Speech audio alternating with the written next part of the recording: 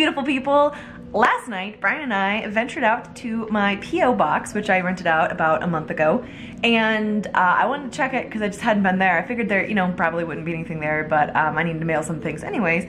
And so we checked it, and oh my god, guys, you're so nice. I wanted to open everything on camera with you guys and just like thank each one of you individually because this is so freaking nice. Like seriously, thank you so much. This made my day and night and I really wanted to open them last night but I didn't, I, like I wanted to have you guys with me while I opened things. So here we go. Let's start with a card from Elizabeth. Super cute sticker, by the way. Aww, this is so cute. Oh my gosh, I know who this is from. Thank you so much, Elizabeth. I truly appreciate your card and taking the time to write me. Next, a beautiful card from Richard.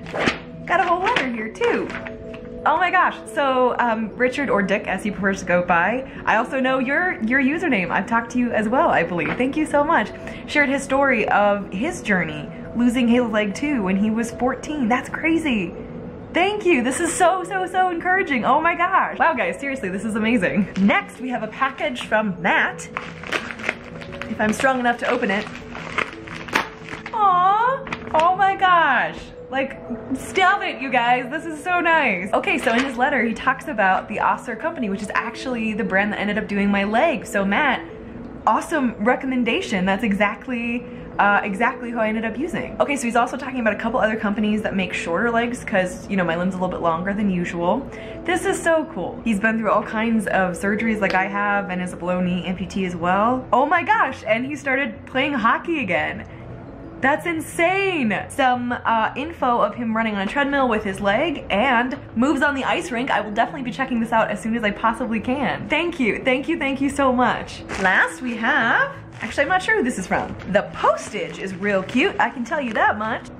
Gonna use scissors for this one, you know, conserve my energy. They're actually wrapped!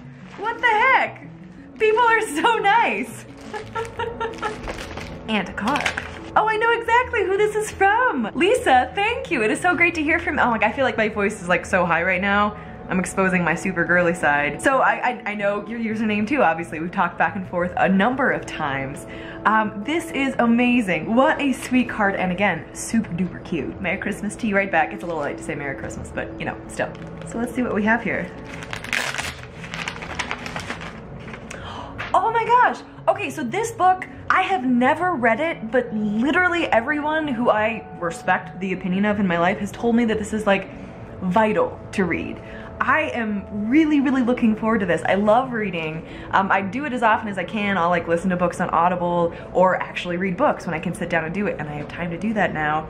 This, for years, like years, people have told me to read this and I've never picked it up. I don't know why. And now I have it. Thank you. This is so cool. Beautiful wrapping paper and wrapping job, I might say.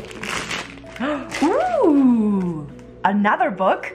I don't actually know this one. Let's see what it is about together. It is a chanting novel that has inspired a devoted following around the world. It's about an Andalusian shepherd boy named Santiago who travels from his homeland in Spain to the Egyptian desert in search of a treasure buried near the pyramids. Along the way, he meets a gypsy woman, a man who calls himself king, and an alchemist all of whom point Santiago in the direction of his quest. This will be so cool! Awesome! This sounds like my kind of book. And last but not least, ooh, okay, I don't know if I've actually said on this channel or not, but I am crazy about dark chocolate, specifically dark chocolate. Like, I don't discriminate against chocolate, but um, the darker the chocolate, the better. This is 70%, which is fantastic. I've not seen this brand before and I love trying new ones. It's dark chocolate, sea salt, and orange. How cool is that? And also, two bookmarks to go with the two books with super awesome quotes, if I may say so. Let me make sure you can see these and really cute designs. You guys are crazy and awesome and so, so, so sweet. And your words especially were so encouraging and your little gifts